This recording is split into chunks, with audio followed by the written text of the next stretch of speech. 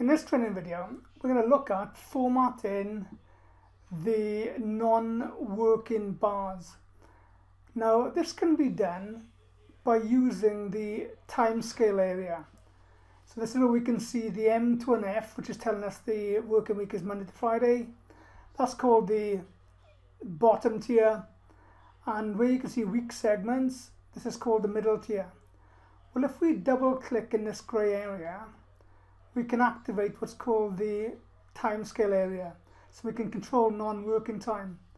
I'll just cancel this box to show another way you can activate it. You can hover over the grey area, right click, and then you can also choose the timescale. So either, either one works. Now we're going to affect the non-working. Now what some project controllers like, they like to see the vertical grey bars, which is non-working, in front of the taskbars. So then it'll tell them exactly when the taskbar is working. So you can put it in front of the taskbar. What will happen now, for example, this blue task here, which is the send out job packs, will now be split into three parts because the grey bar is going to come in front of it. So you'll see exactly when it's working. So for example, on the Friday, the whole of the next week, and then the following week up until the Friday. So this is what this is going to show. And there's the example. So we can now see any task which is which goes over non-working, which is these grey areas, is now behind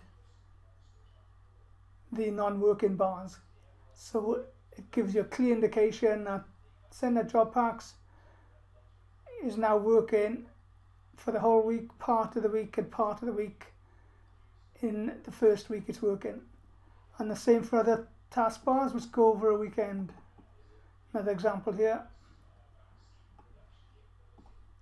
So this completes the training video on formatting the non-working bars and putting them in front of task taskbars so you can see when the taskbars are working. And then they'll split themselves whereby the they won't show themselves over the non-working because now they're, they're, they're behind the non-working vertical bars. But this completes this training on formatting the non-working bars and putting them in front of the taskbars. If you enjoyed this video, make sure you like and subscribe to our channel.